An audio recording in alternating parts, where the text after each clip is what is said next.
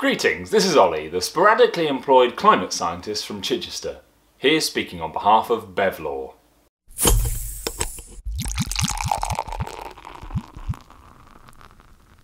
If you've been in the beverage industry for more than 10 minutes and you're not familiar with Artal, you should hang your head in shame. Or your boss should just put your head in a stock.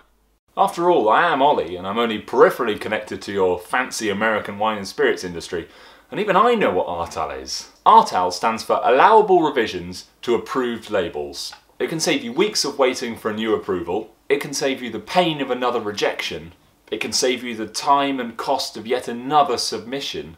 Not least, it can even save you after the fact of having too few approvals. Artal has been around for decades, but didn't have its snappy title until recently. The list gets longer every couple of years, as the TTB periodically struggles with far more labels than the agency can handle.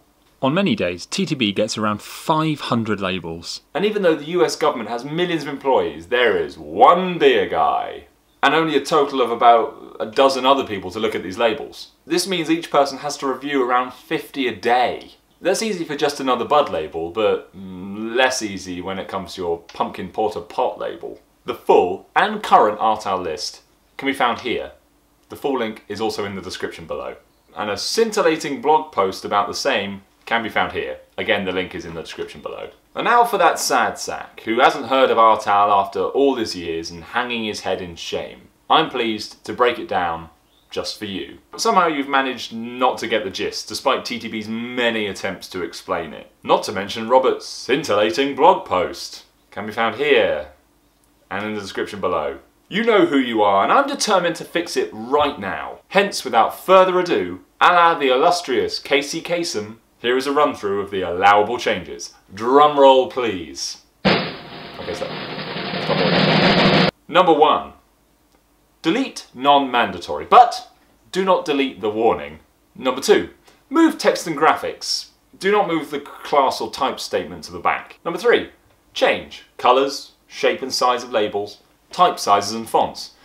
Do not make the statement about artificial colours four points, white on silver. Spelling and punctuation, or from paper to etch to painted, etc. Here's the short version for those of you who are already bored or edgy. Yes, Artal will allow you to change lots of stuff on your labels without any need of a new label approval. And now, for those more patient, fine tune the stated percentages for grape varietal and appellations. Oh no, is that a wine only rule? Come on, guys. I'm the beer guy. I don't want to be associated with such wine only trivialities. Number five, add, change or delete the vintage date. Hang on, another wine one. Ah, we need to put some subliminal messages in here to bring the guys back from the dark side. Buy more beer. Number six, fiddle with the terms produced by versus cellared by versus vinted by. Number seven, monkey with the acid levels or pH levels. Number eight, futz with the sugar content. How does futz mean? Number nine, add or delete permit numbers. Number 10, revise the net content statement, but do not change it all the way to a keg of tequila. Number 11. Play around with the alcohol content for ordinary drinks, such as wine or spirits, but do not go below 80 proof for vodkas or whiskies. Number 12. Play around with the alcohol content for the king of beverages. Beer. But don't make it huge. Number 13. Tweak the name of the commodity from which a spirit is distilled and the percentages. Number 14 transmogrify an age statement for spirits. And number 15, transmogrify an age statement for wine or beer. Number 16, rework beer labels to comply with state law. What's that? 18 to go. Oh, we're going to need an intermission. If you want to go to the bathroom, get some popcorn, get yourself a drink, feel free. We'll take a little 15 second break now.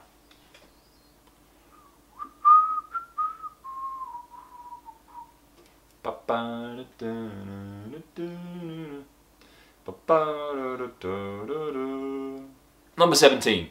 Adjust the calories, carbohydrates, fats, proteins indicated. Number 18. Trifle with bottling dates, expiration dates, freshness information. Number 19. Switch out the DBA or trade name, or minor address changes. Number 20. Update the name or address of the foreign supplier. 21. Go ahead and adjust the name of the person for whom bottled, such as the wholesaler or the retailer. Number 22. Do what you want with deposit information. Number 23. Manipulate UPC and other barcodes. Number 24. Change up web addresses and quaint artifacts such as zip codes or fax. Number 25. Transubstantiate the batch numbers. What? Number 26. Go hog wild with trademark and copyright symbols. Throw in a kosher symbol for good measure. If you really want to clutter up your label, add the Facebook icon, one for MySpace, Twitter, oh, and your company logo too. Number 27. Meddle with information about awards or medals. Number 28. Recalibrate your seasonal salutations. Number 29. Change information about annual and semi-annual events. No word yet on sesquicentennial events. You can also change sponsorship information. Number 30. Have your way with rating information. Number 31. Delete organic claims. Number 32. Improve your sulfite statement. Number 33. Tamper with information about batch size. And last, but not least, drumroll please. 34. Tell people what to do with the bottle. Just shake well.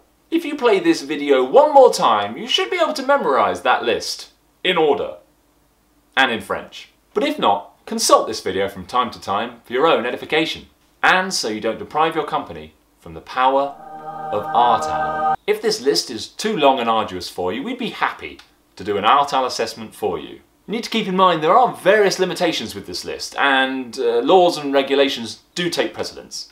Sometimes too, states or wholesalers or even US customs have been known to say we don't care about art, or AL, or ARTAL. As we said back in 2012, ARTAL can be like a chainsaw.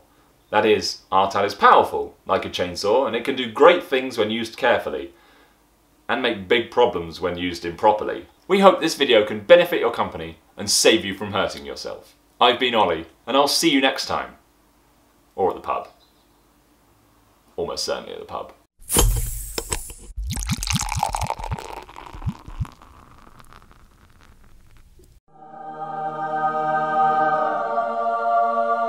Please don't be a knobhead or assume we represent any of the brands or companies shown unless we say so. Trademarks belong to their respective owners, even if I wish some belong to me. Do not consult only YouTube or Ollie if you want good legal advice.